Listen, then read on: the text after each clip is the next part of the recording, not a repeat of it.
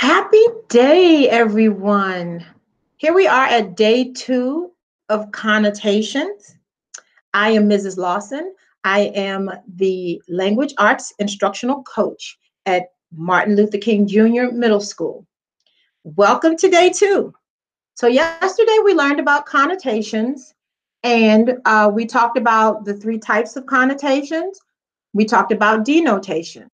Um, I, we're going to do a quick review and then we'll get ready for our lesson for today. So let me share my screen with you. Give me a second. Hope everybody's doing okay today. Hope everyone's safe. Okay, so I should be sharing my screen with you now.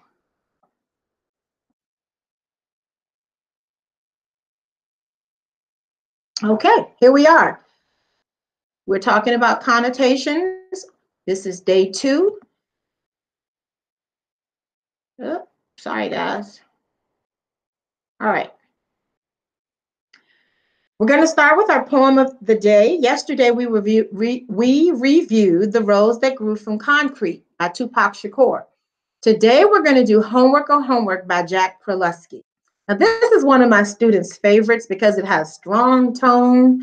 And when they recited this poem as a whole class, they just belted it from the top of their lungs. You can hear it all up and down the hallway. And so you'll find this one to be a lot of fun.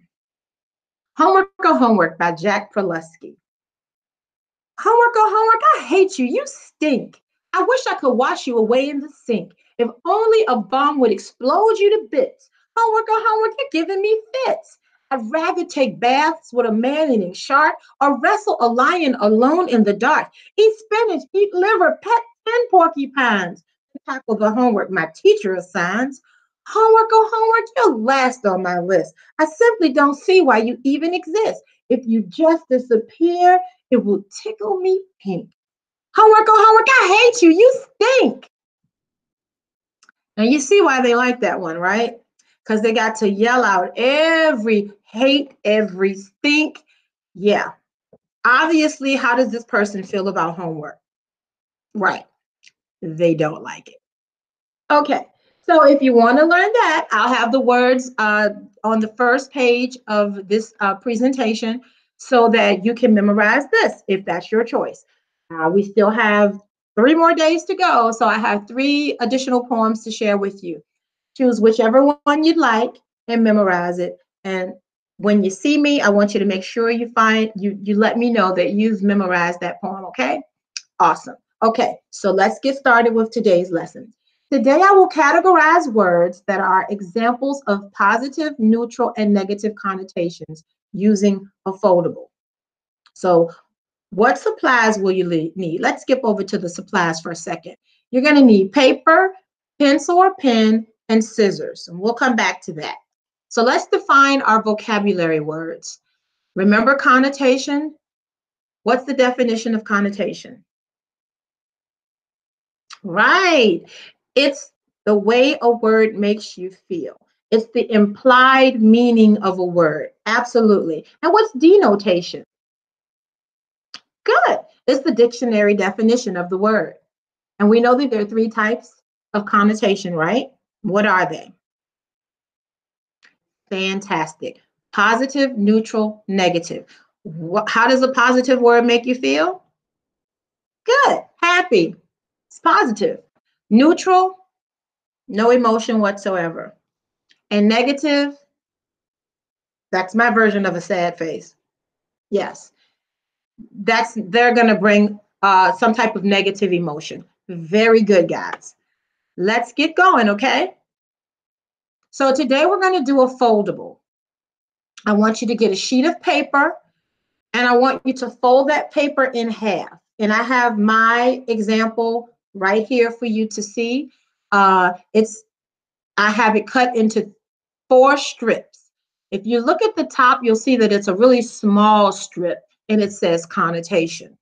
And then you use the rest of the paper, kind of divide it equally for the three strips. One says positive, one is labeled neutral, and one is labeled negative. And you can see that I have the appropriate smiley face emoji, whatever you want to call it, um, beside it. So with positive is the happy face, with neutral it's the straight face, and with negative it's the sad face. So I'm going to give you 30 seconds to cut your strips, okay?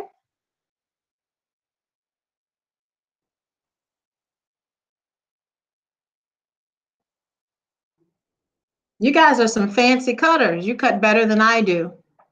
Good. so you can see some of my lines are a little slanted, but that's okay. Almost there? Fantastic. Very, very good. While you're finishing up, let's take a look at some of the words that uh, we reviewed yesterday and some new words that we haven't reviewed. All right, uh, let's see.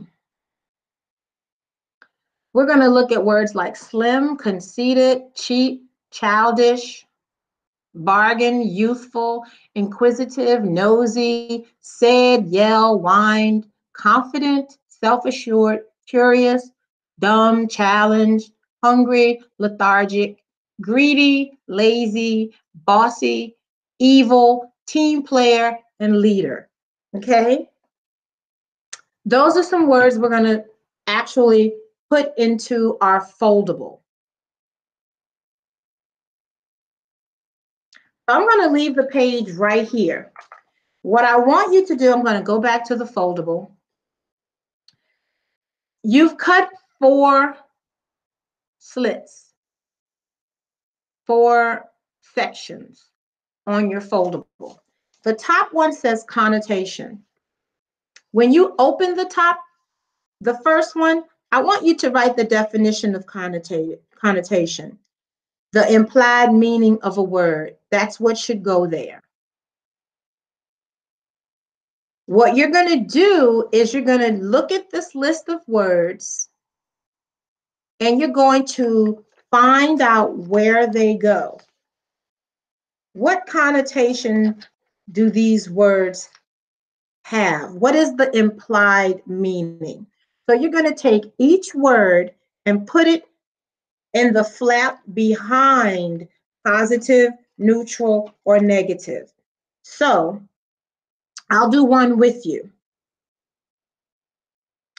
Let's take one we've already done. So we talked about um,